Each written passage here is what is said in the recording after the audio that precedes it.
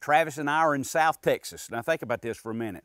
Load up in the truck, go to the airport, fly to San Antonio, unload, load up again, drive to the Countess Ranch, which is an hour and a half away, unload, then go hunting for about a week. That can damage the scope. If your scope is messed up, the reticle, the hunt is ruined. Besides, remember, we use nothing but muzzle loaders.